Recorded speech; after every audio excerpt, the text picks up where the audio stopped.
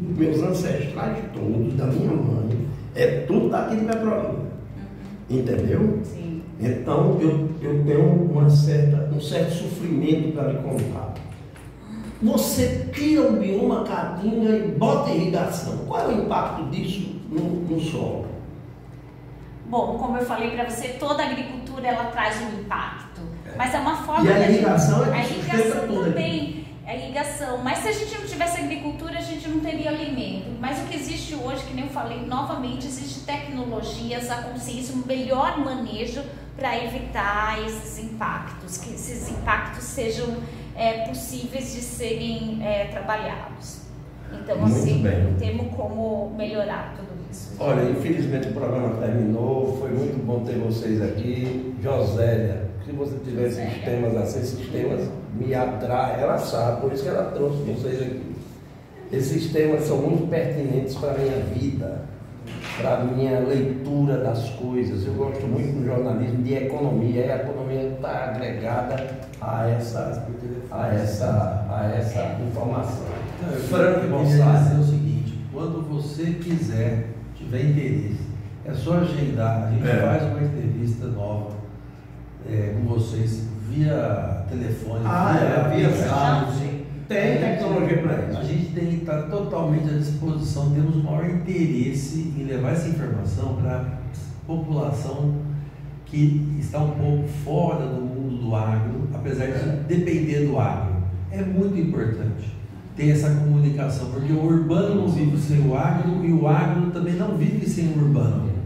Eu só queria fazer um comentário final, Sim. dizendo o seguinte, que nós temos que ter o mesmo critério para tudo na vida.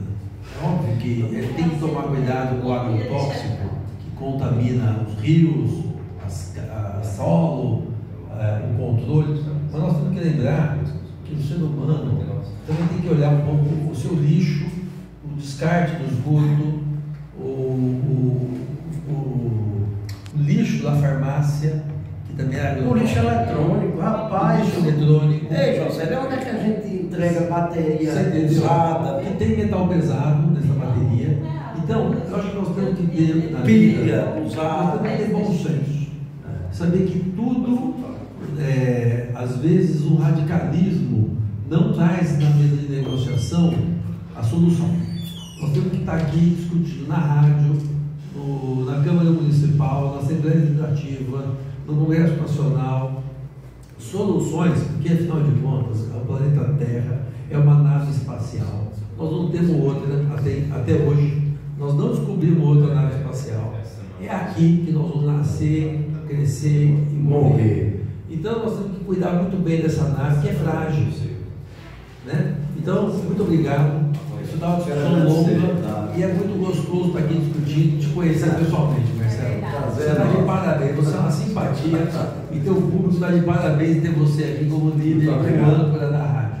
Conta com a gente sempre, aonde nós estivermos. Tá, beleza. Doutora Mária, é, a gente vai conversar mais vezes, né? Com certeza, eu fico à disposição para passar um pouco das Porque essa sua área é muito necessária para o produtor. rapaz. Você não sabe o sofrimento de um produtor que por ignorância, por desconhecer a sua. Agora não, que melhorou muito, mas a, a primeira geração dos perímetros irrigados era de gente inculta, de gente de baixa instrução. Agora não. Se trabalha muito com capital humano. Exato. Nós tivemos aqui, né, José, vários deputados federais que tinham compromisso, mesmo de direita, de centro-direita, de esquerda, mas que alavancaram e trouxeram para cá a Escola Técnica Federal Franca trouxeram Univasf, Universidade de Graça. Na minha geração, terminei o, o segundo grau e meu pai, um analfabeto, chegar para mim e dizer, meu filho, não tem a faculdade que você quer aqui em Petróleo, você tem que estudar por aqui mesmo. E eu, eu, Marcelo, amanhecer, tomando café com meus meninos, saiu para Univasf. Cada um no seu curso da Univasf, de manhã, sem precisar ir para Recife, sem precisar ir para Salvador e sem precisar tirar dinheiro do bolso. Isso é uma conquista social, de muita responsabilidade social para Juazeiro Petrolina. E isso é que muda o mundo, só muda o mundo o impacto da Univasf. Estão, estão olhando lá. O impacto da Univasf é que é uma coisa indescritível. É uma coisa absurda. De desenvolvimento, de prosperidade. A minha geração se arrombou, mas essa geração nova agora não pode reclamar muito não. Vou dizer uma coisa, a, a, a mudança da sociedade só virá através da educação. Às vezes falar isso parece chavão, É. algo distante, mas não é não. A bandeira é educação. Tem que ter educação, porque nós temos que nos tornar um povo civilizado. E a civilização vem através da educação. Então, é muito importante reivindicar isso, porque se todos nós tivermos acesso à educação, Nós vamos né, pra algum lugar. Nós vamos para algum lugar. Parabéns. É, parabéns a vocês também. Obrigada, obrigada. Vamos mais vezes. Estou à disposição.